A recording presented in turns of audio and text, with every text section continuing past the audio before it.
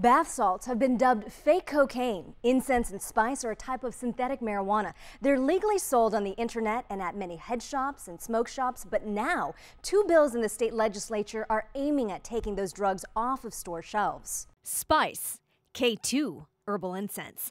It's legal, it's easy to get. You just need someone 18 to go to any smoke shop and get it. The drug mimics the effects of marijuana. Like, I've tried it. We have about 70% of the young people who come through our doors in the last year who've used it. A lot of people do it like when they're on probation, can like can't smoke weed or anything like that, so they turn to spice. Teens like Darren Morgan, who's now in a drug recovery program. I've tried it and I was doing it because I didn't have any marijuana. I know quite a few people that are using it, but that's because they're on probation and they get tested and they don't want to come up dirty for marijuana. Then there's bath salts, a synthetic stimulant. The effects of snorting it is very similar to cocaine or crystal meth. It can lead to extreme paranoia, delusion, hallucinations. Many states have banned it, but it's legal in California. Some of the chemicals in incense have been banned, but manufacturers switched up the formula and kept selling the drugs. I'm looking to see if you carry herbal incense. We called around to a couple of shops in the Sacramento area, checking to see if they carried bath salts and incense. A few shops said yes, come on in.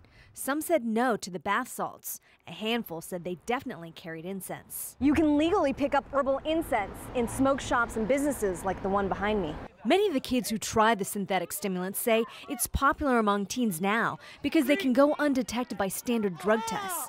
Nevertheless, the drugs have been linked to overdoses and violent incidents. Uh, bath salts are really bad for you and then you can just like mess you up really bad. We've had three cases of young people coming in in the last six months on bath salts. I've had a couple friends overdose on them. And that's why California lawmakers drafted two bills that would outlaw the sale of spice and bath salts.